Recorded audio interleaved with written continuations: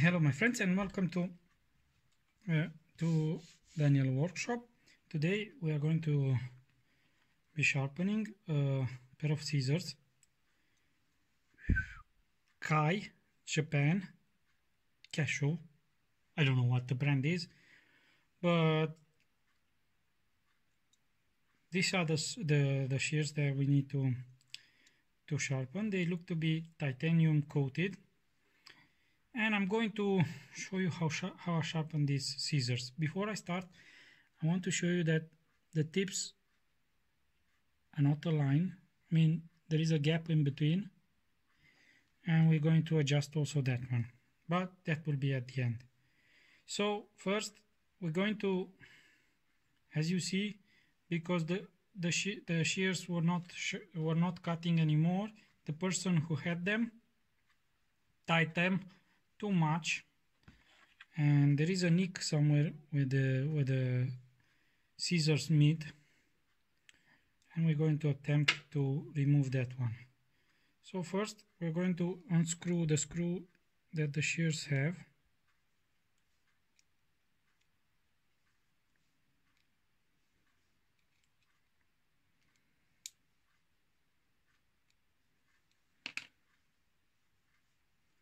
recommend you to have a small little box or uh, something to put them in. So you don't lose them.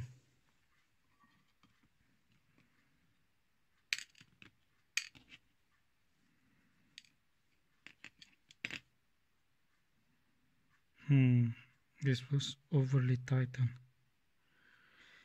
I will see what we can do Okay, so first thing that we do is to clean the scissors. I use some kind of uh, alcohol, medicinal. It's called medicinal alcohol. And a piece of rag just to wipe out the the hair and all the other residues there around the scissors. Okay. So what we're going to do is to first clean and remake the right line which is this portion. It's not it's not that bad but the scissors don't cut at all. I mean I forgot to show you. Damn. Anyway you can believe me that they don't cut at all. I forgot to show you how they cut prior to start. So, first thing first, I'm going to mark the, I don't know if you can see it, but yes, somewhere here in this area, you can see some shiny spots. Yeah, see? Those are um, chips in the blade because the blade was overly over over tightened. And we'll have to correct that one. So how we correct that one? By removing metal. Uh, I'm looking I mean I learned a lot about uh, shear sharpening from Bonica Shears. I think it's called Bonica Shears. Side, uh, YouTube channel she gives very very good explanation about scissor sharpening but the explanation is not is not always what you need. It's also need you need some practice and you need stones and I don't know how it's called in English but there is a saying in Romanian I'm Romanian and there is a saying that you need to have a hand for them. I don't know if it's co correctly translated in English. Okay, let's start sharpen. Uh, we'll be using a 4000 or a 4K uh, stone to sharpen.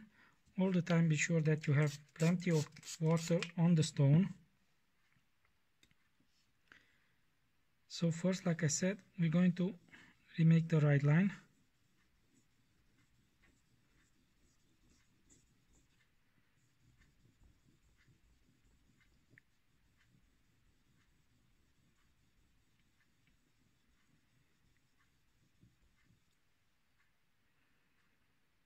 Hmm, not bad. I mean as you see um, I went 10 or 15 passes and it removed a lot of material so that's telling me that the stone the the scissors are quite okay and then that I think we can do good job with them. The material of the stone of the scissor looks quite uh, soft so I don't have to press too much on the stone. It's removing very very fast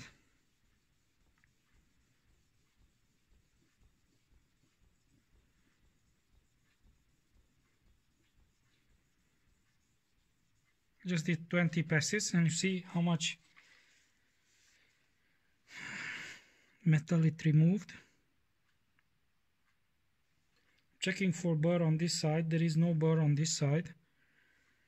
So we'll be doing the other side too but this one we'll be doing with we're starting from a long angle and we're lifting slowly slowly till the end of the of the stone and we do some kind of like let me show you like a circular movement. I'm I'm um, showing you in in a, but it's it's a highly in a in a high, higher amplitude than it is on the stone. I'm just moving a few degrees just to be because you need to run them round them at the towards the the the edge. You can also do uh, just straight go back and forward. But on these kind of shears I recommend to do a to round them up. Because they made like that. A little round. So I got bevel all from here from the tip till somewhere in the middle but there is no bevel towards the end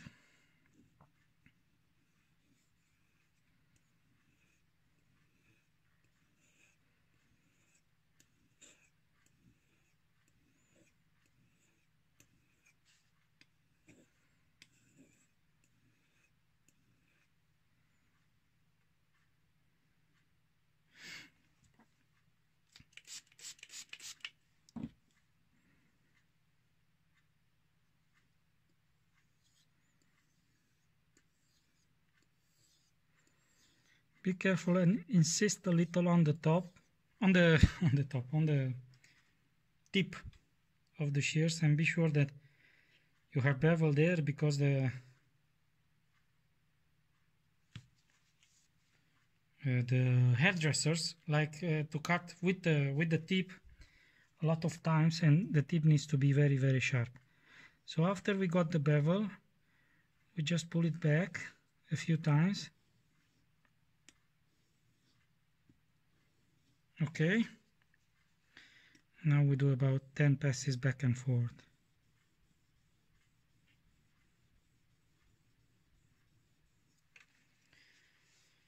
I saw on Bonica's share channel that she recommends to have a 1k to 4k stone but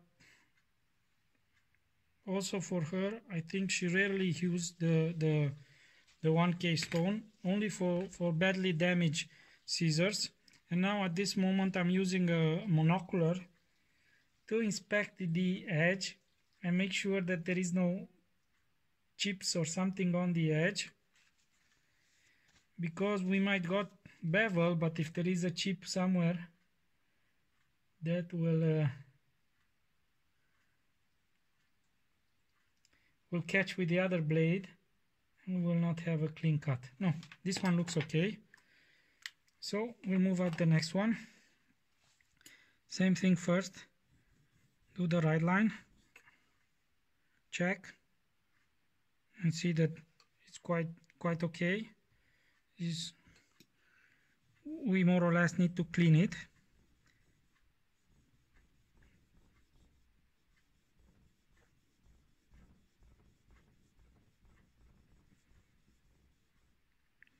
so this will be my fourth scissors fourth shear or scissor to sharpen.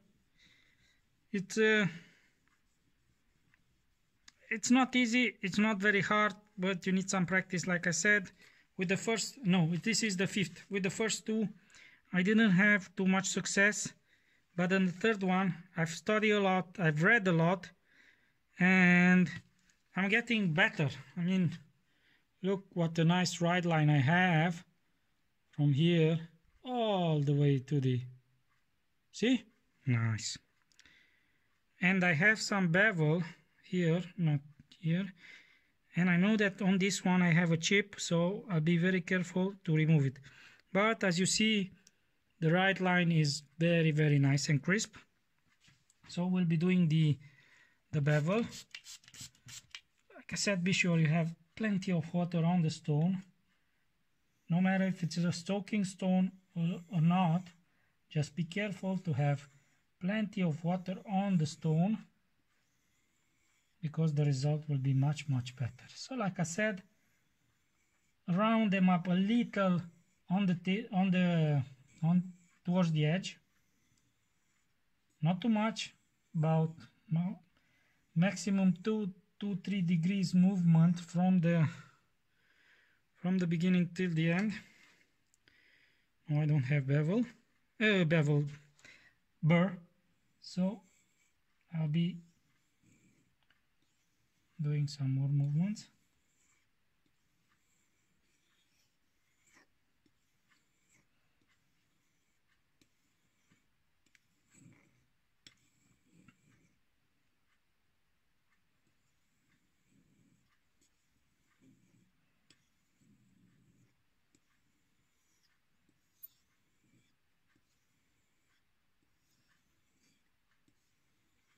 slow control movement.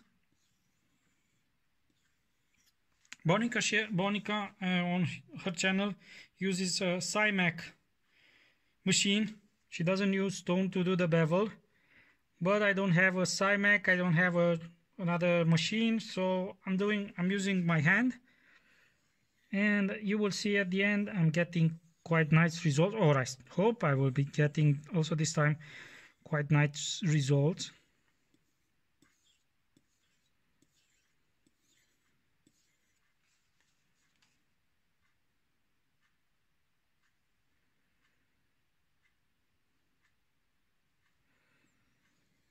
The tip. I don't I don't have a burr on the tip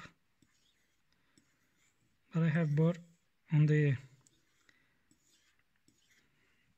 the rest of the stone. What I observe is that the tip the tip has a slight different angle than the rest of the the the scissor because the scissor is kind of curved like that. I mean I'm just uh, showing you how it is but if you look at it it's kind of curved so I think the the edge of the of the tip is uh, a little different than the edge of the the inclination sorry of the tip is different than than the whole edge. So we insist a little on the tip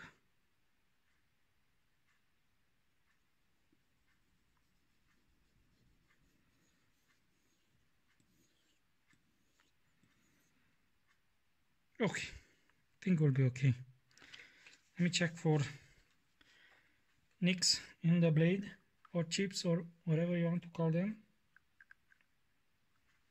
I'm doing it with the monocular. Yes, so I have a the chip in the blade that I have it when I started is still there. So this will be a lot of work to try and get it out. So now will not be using it just back we're moving back and forward because we we want to remove more material to get rid of the chip. See if it's there. I'll put the monocular on the camera and show it to you. It's almost gone. Let me see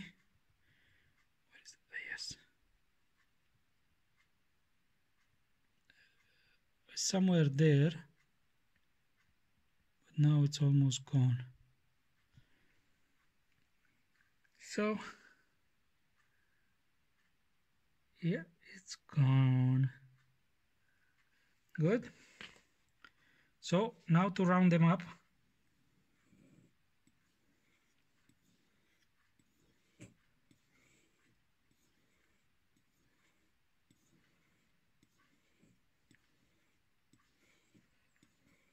Okay.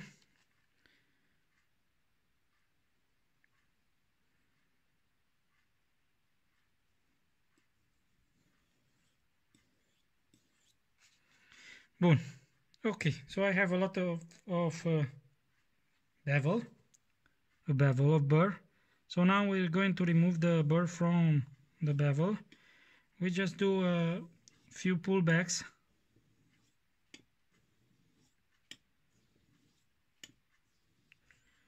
And now we go back and forward 10 times. All right, and I'm going to check it again.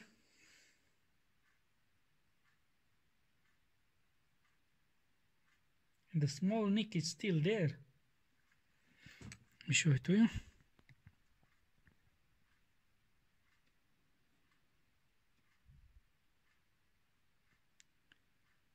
Very hard to focus, but I can see it.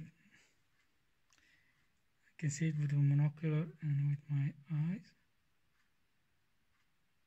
Very very very tiny. So water.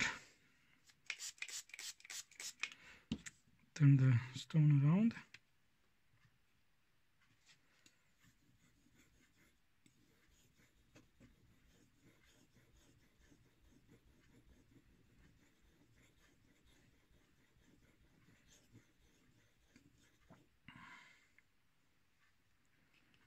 check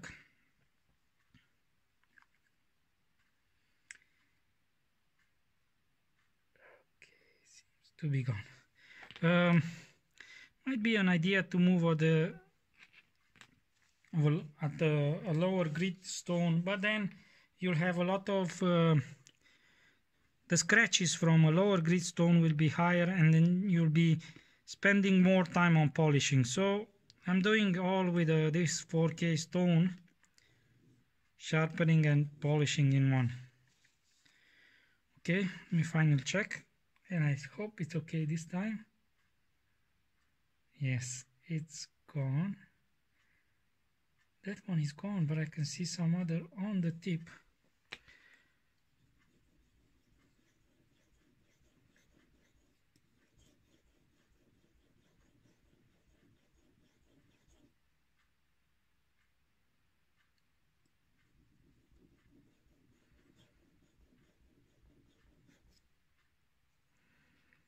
still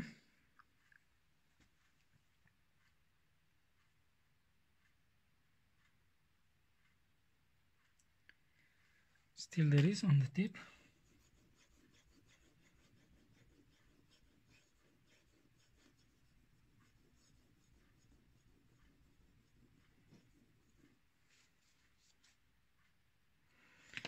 So at this moment you might you might end up in the same situation where the stone gets clogged and it's not cutting anymore. So what I do is I put it back in the water and use another like Nagura stone. Let me move it here so you can see it. And just rub it on the surface to get rid of all this uh, residue type. Okay. And then we continue sharpening.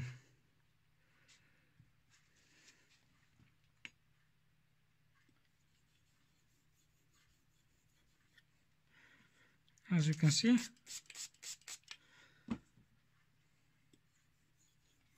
the stone now works much better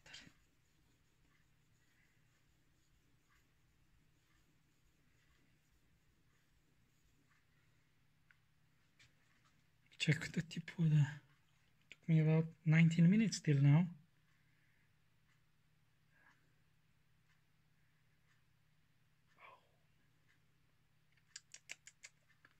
Me show you. Maybe you can see now how the tip looks.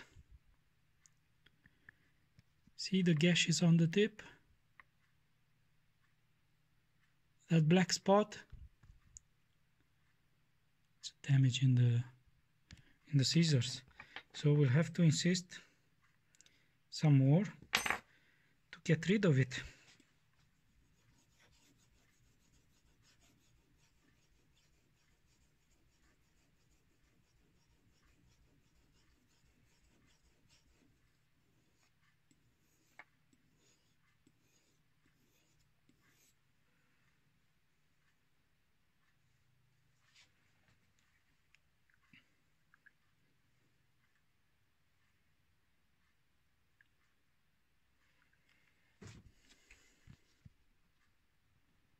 See the black spot that was there? It's gone now. We have burr.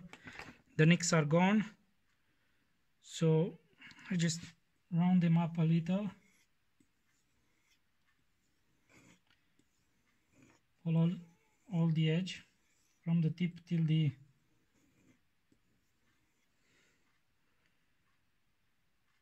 good just doing the back side pulling back a few times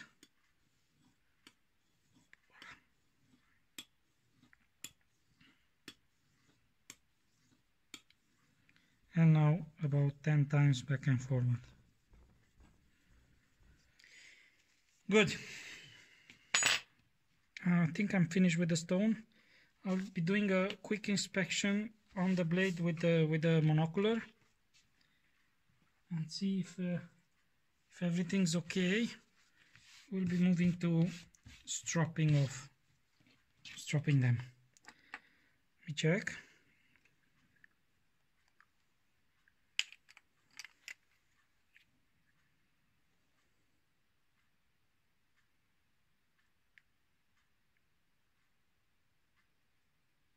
it's okay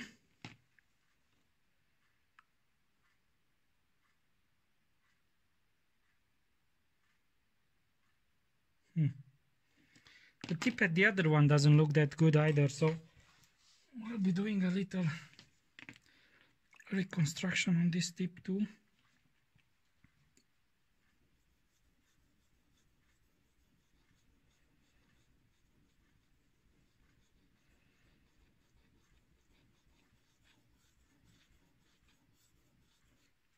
tip looks like it's corroded or something.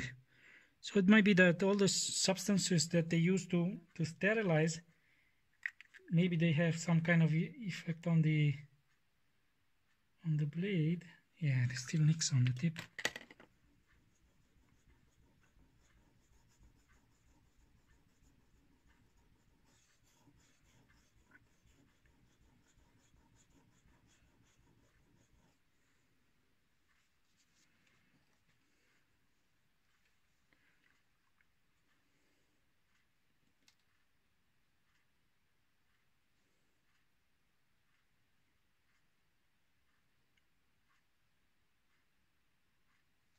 Okay just a little more. And then we'll be doing a roundup.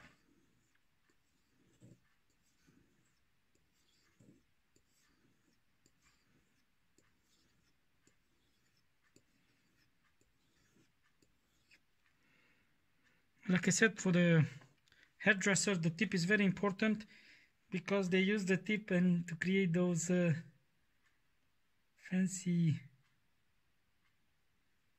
hairstyle. It's very bad. It's worse than I thought. I didn't check the exterior when I did it, and now, like I said, looking at it, it looks like it's corroded or something. So I have to remove more material.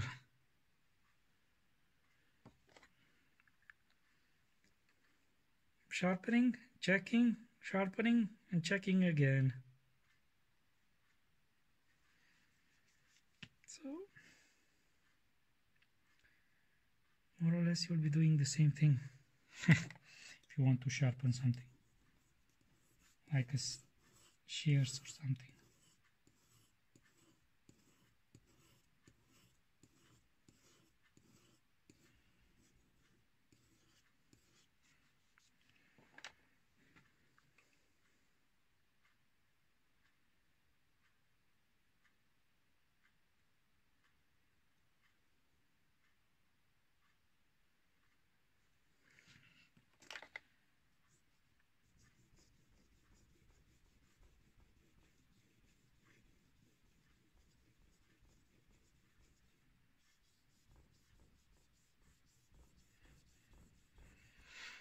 Alright, check it again.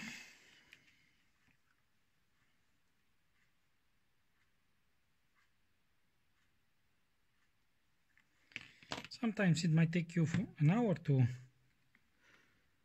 to do this.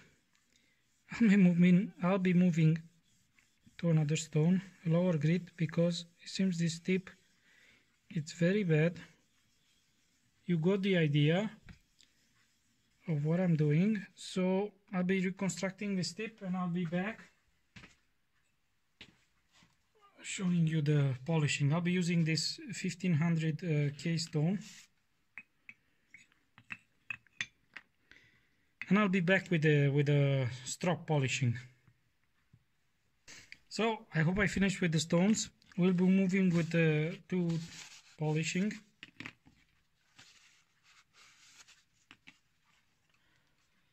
We'll be using a strop and white wax.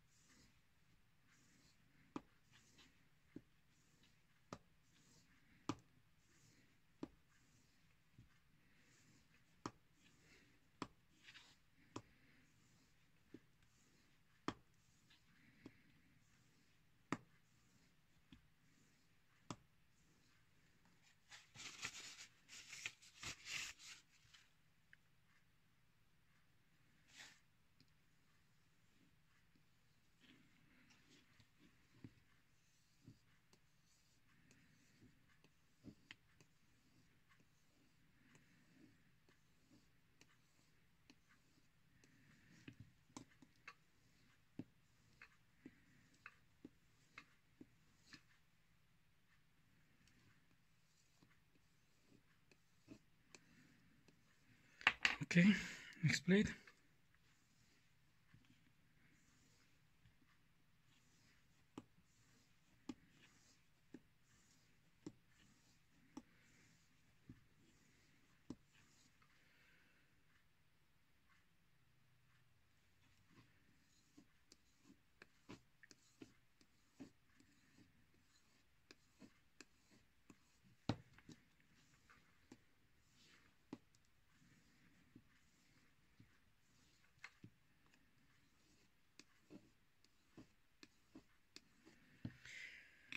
Okay.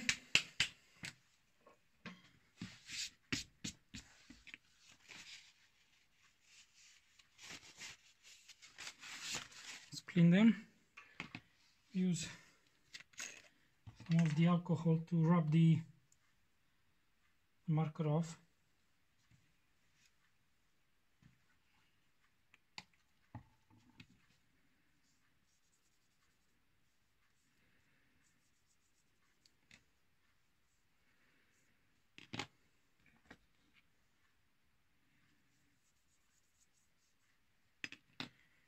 Okay.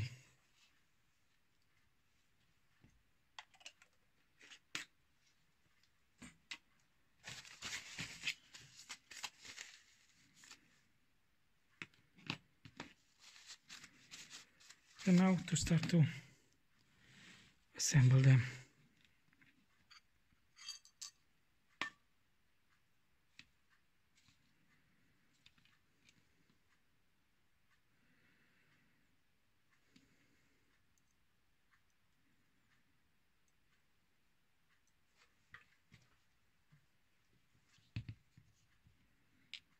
A tiny drop of oil. Right here where the screw is. I'll be adding more a little later. Just to be sure that you have some some oil there.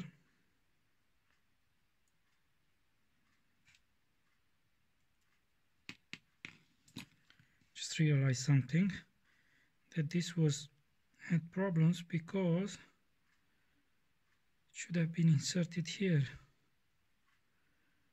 before it screws in. Yes and now tightly secured. You can screw it in. When you put the scissors back just put them in open position and I'll explain you why in a second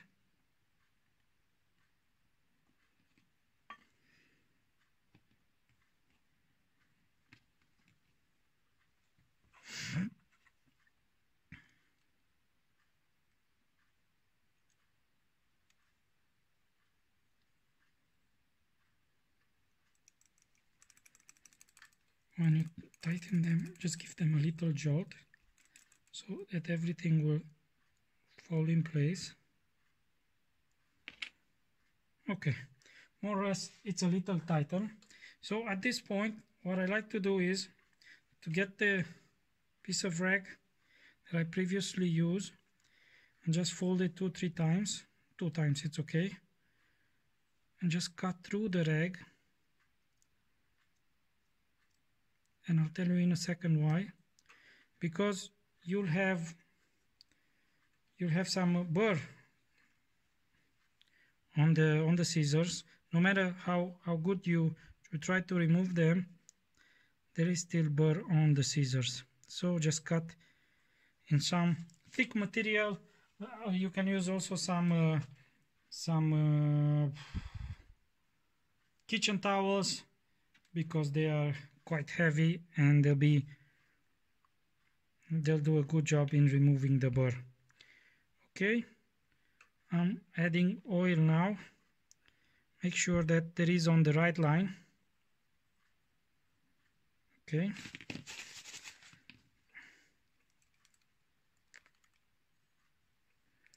Let's check the tension. It's quite high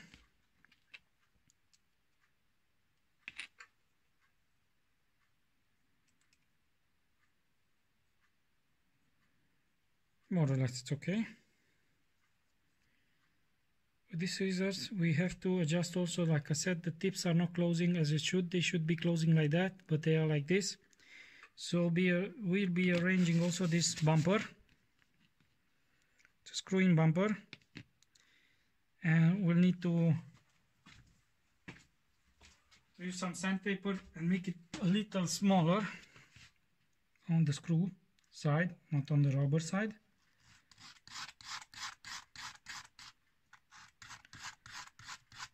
just a little too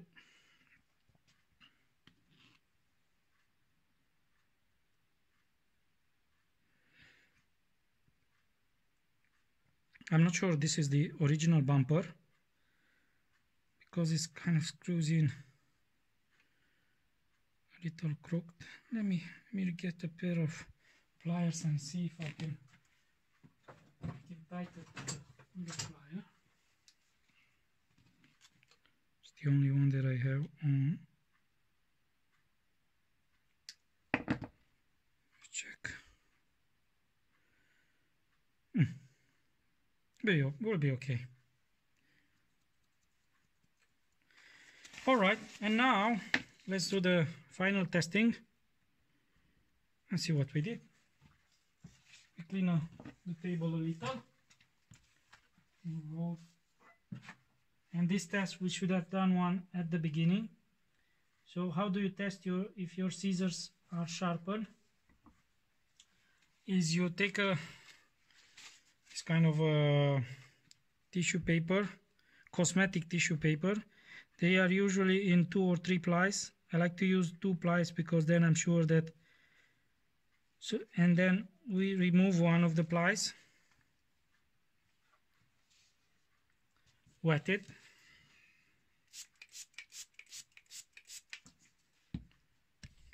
Show you what I'm doing now. Take your scissors open them and then put them under the napkin tissue paper and then just push on the outside they should be cutting till the end like this one cut. Don't put your finger in because once you put the finger in you'll be tensioning the scissors and then you'll be have a false reading let's say. Do it again. No pull. So I can show you in in the hand too. See if I can. Push on the exterior. No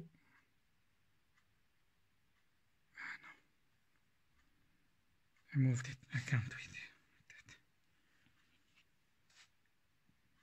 But you got the idea. Just put it in and press down. It should not be pulling. Let's check the tension again. Yeah, it's, it's quite okay.